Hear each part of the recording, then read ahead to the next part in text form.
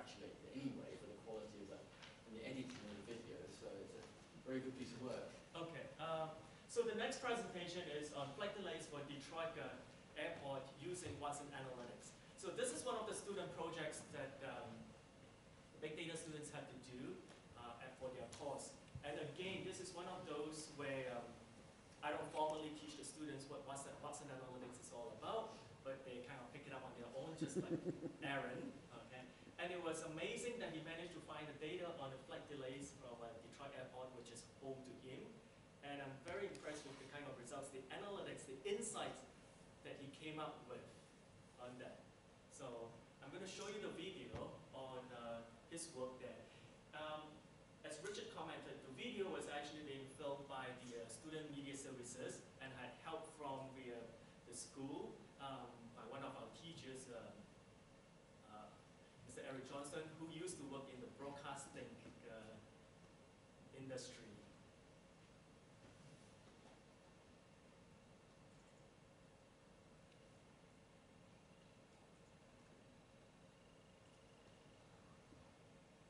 Is there sound to this?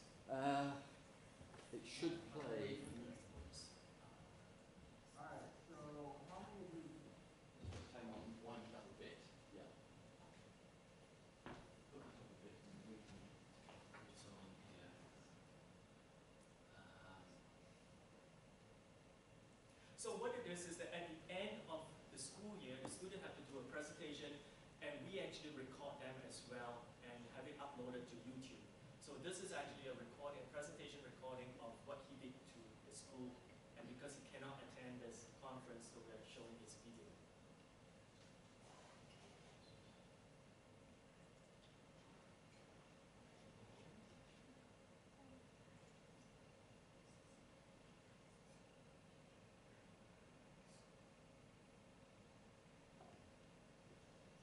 morning, how's everybody doing today?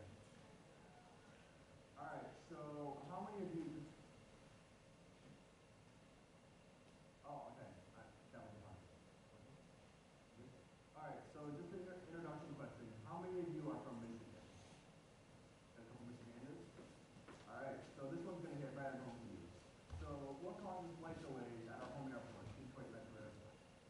So, I'm assuming since all of us live overseas, you've seen one of these before. Your typical flight status report. You know, you got all your flight info and whatnot. Many of you have seen one like this, where all you see are red delays? All flights are delayed or canceled. How many of you have seen one like that before? Chicago? Alright. But today, we're gonna be looking at Detroit Metro Airport, or, uh, Kilo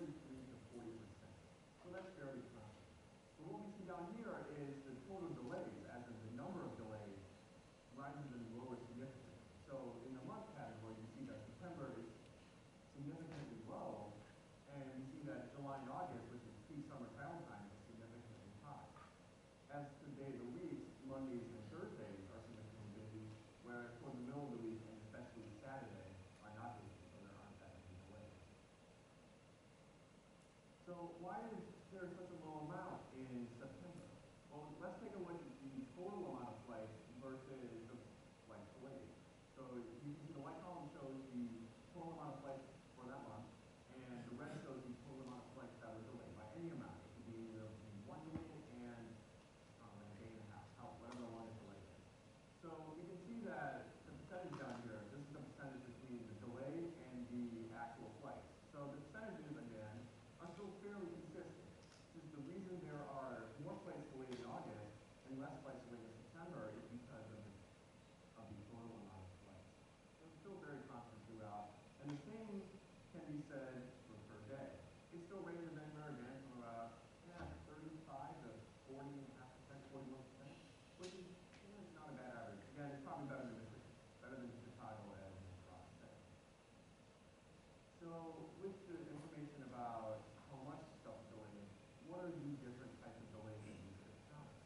two adjoining ones.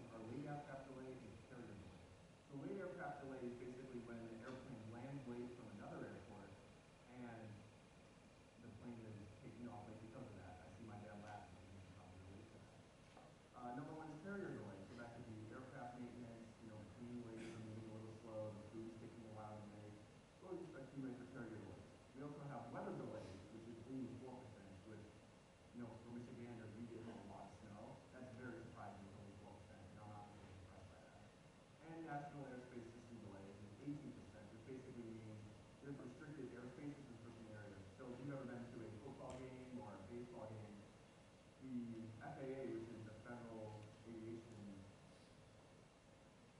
yeah, they, uh, they block off airspace in that area, so sometimes flights have to go around these football and baseball fields. So that's an impossibility too.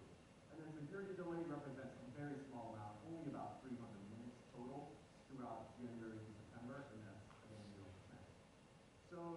rate and all, it tells us the time of delays, and we know kind of how much the total delays are. So let's break it down a little bit. So these are delays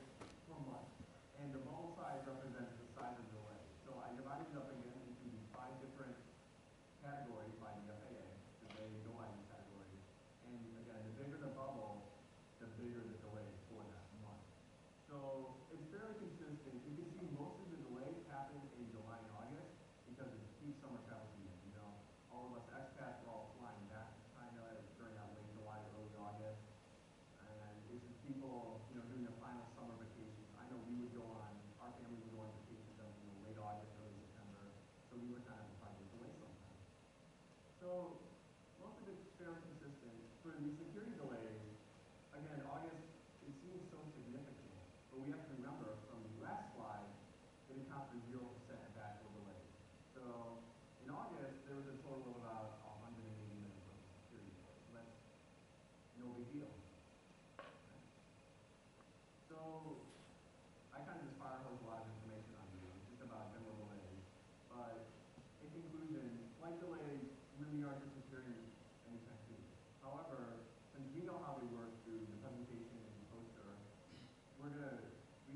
airlines will be able to understand what type of delays impact them the most and then help counter them so that you can all get out